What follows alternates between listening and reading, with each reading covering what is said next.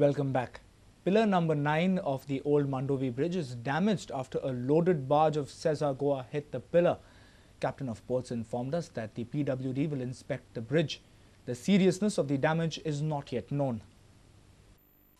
The incident took place in the hours on Saturday. A barge named Olga belonging to Sesa Goa hit pillar number 9 of the old Mandovi bridge. The loaded vessel was moving towards the MPT. Captain James Braganza informed that the incident took place due to some technical problem. PWD will inspect the bridge. Belonging to Sesa Goa, निकाल त्याची steering fail जाऊन ती मांडवीची एक पियराची dash केली and there was a damage to the forward part of the vessel presently it is beach near Kampal and we are trying to get all the cargo out so that she can be towed back again for repairs at the yard. This happened on Saturday in the morning. At present, the vessel is being unloaded and is stored on the banks of Mandovi near Mahavir Garden. A reporter from Panji, Devidas Kamli, with video journalist Ravindra Dalvi. The High Court on Monday declined to hear Governor's petition. Raj Bhavan had filed a petition seeking stay on the court's judgment terming Governor as a public authority. The division bench of Bombay High Court on Monday declined to hear the petition filed by the governor of Goa. Raj Bhavan had sought a stay of the judgment passed by the High Court. Justice A.P. Lavande, who is heading the division bench, along with Justice U.V. Bakre, declined to hear the case. The court had earlier ruled that the governor was a public authority. The governor came within the ambit of the RTI. In his petition, Special Secretary to the Governor of Goa, Dr. N. Radhakrishnan had sought stay of the High Court judgment passed on November 14th. The reason for this was Raj Bhavan has decided to challenge it before the Supreme Court. Dr. Radhakrishnan in his petition had submitted that Raj Bhavan would be compelled to furnish information sought under the RTI if the judgment was not stayed. He would suffer grave loss and prejudice. The Raj Bhavan's petition follows a legal notice served earlier this week by Advocate Aires Rodrigues demanding that all the information sought by him through his 15 applications under the RTI Act which are pending at the Raj Bhavan be furnished within 7 days. Our reporter Jason Suarez for Prudent Media. Congress has decided to go with the views of majority people on regional plan issue.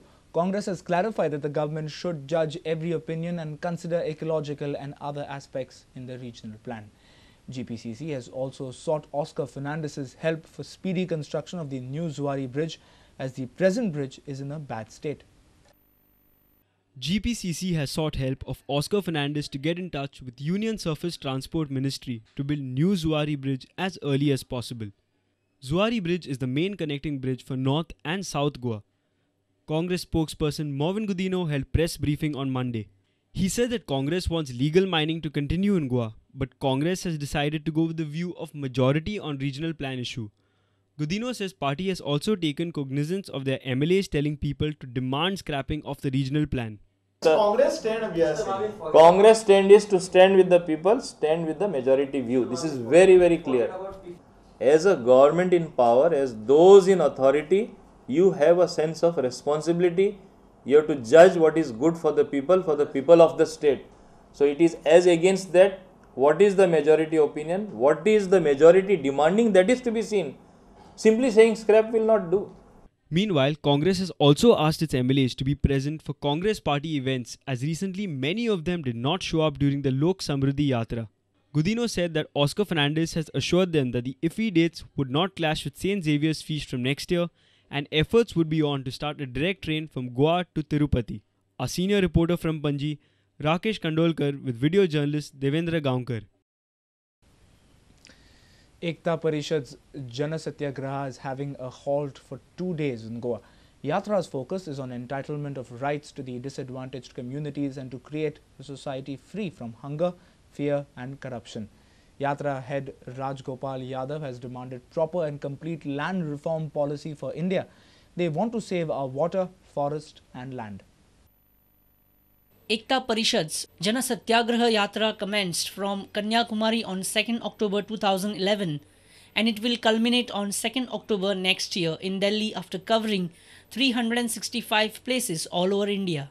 Member of the Council of National Land Reforms Policy GOI and president of Ekta Parishad Rajgopal Yadav has only one motto save our Jal, Jangal और Zameen. तो हम चाहते हैं कि एक national land reforms policy हो एक comprehensive policy हो जिसमें तय हो कि भारत में जितने ज़मीन है वो ज़मीन का क्या हिस्सा किसान को मिलेगा क्या हिस्सा उद्योगपतियों को मिलेगा या मल्टीनेशनल कंपनियों को मिलेगा अभी तक कोई नीति नहीं है इस देश के जीवन जीने का संसाधन का क्या उपयोग होगा उस पर कोई नीति नहीं है उस कारण से लाखों लाखों लोग गरीबी में हैं भूख से पीड़ित हैं तो दूसरी तरफ़ लोग मुनाफा कमाने के लिए और कैपिटल बढ़ाने के लिए संसाधनों का उपयोग कर रहा है A reporter from Madgaon, Savio Dias.